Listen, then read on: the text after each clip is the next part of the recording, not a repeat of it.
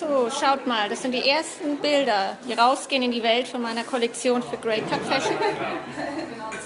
Ist das nicht herrlich? Das ist eine Corsage. Die habe ich mir auch vorgestellt, mal zu einer Lederhose oder zu einer Jeans zu tragen abends.